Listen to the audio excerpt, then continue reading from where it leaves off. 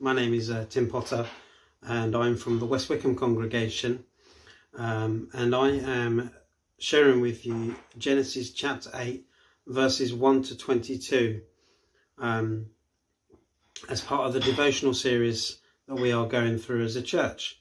Um, and so obviously it's a very familiar passage. It's Noah and the ark and the flood. And I, as I started reading it in, in verse 1, just jumped out out at me. So I'm going to read you just verse 1. Um, that God remembered Noah and all the live animals and the livestock that were with him in the ark. Um, and see, God had um, put Noah in the ark. He'd um, said to Noah, Get in the ark, I'll shut the door, and you leave the rest to me. And now, see, they were in there for a, a 150 days, uh, which is, is quite a significant amount of times, a, a significant amount of time. Um, and in that time, I would imagine that Noah at some point may well have gone, God, what, what are you doing? Where are you? Why, why are we in this boat? What, what's going on? And there may well have been a possibility that Noah may even got, why, why have you forgotten us? There may have been a thought or a feeling of being forgotten by God. And often we find ourselves doing that. We often find ourselves in situations where, uh, like Noah, we, we are in a certain situation for a significant amount of time and that causes us and sometimes those situations are really difficult and really hard to to bear. Um, and there are times where we can turn around and we can say to god where are you? Have you forgotten us? And we can ask questions like um, why? Why me? Um, i don't understand what you're doing. Um, but i can assure you that god has not forgotten you. He never forgets us. It's not like that God forgot about Noah on, on, on the ark. It's not like he misplaced Noah. It's that God remembered Noah in the fact that he remembered the promises that he'd made to Noah and how they, they should be outworked and how they should, should be fulfilled.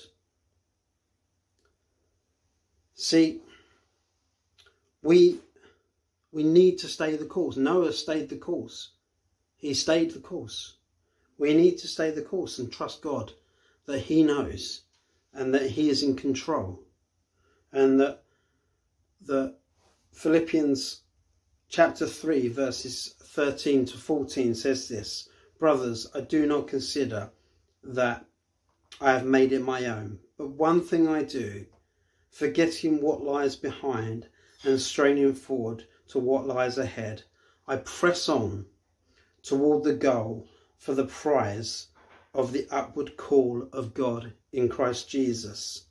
Proverbs chapter 4, verse 25. Let your eyes look straight ahead. Fix your gaze directly before you. See, God remembered Noah, and Noah remembered God. At the at, when the, the the ark came to rest, the first thing that Noah did is that he built an altar and he laid, made a sacrifice to God. See, that we need to know that God is faithful. That when he says he will never leave us, he will never forsake us, he means it. When God put Noah in the ark, he didn't leave him there to well around on the waves.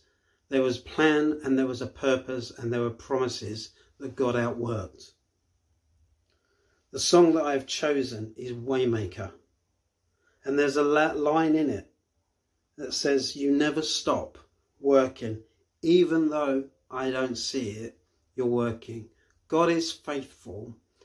God will never leave us and never forsake us. I've found myself holding on to that fact, that fact a lot recently, and it's true. So be blessed, be encouraged, whatever you're going through. God is with you. He's never going to leave you and he's never going to forsake you.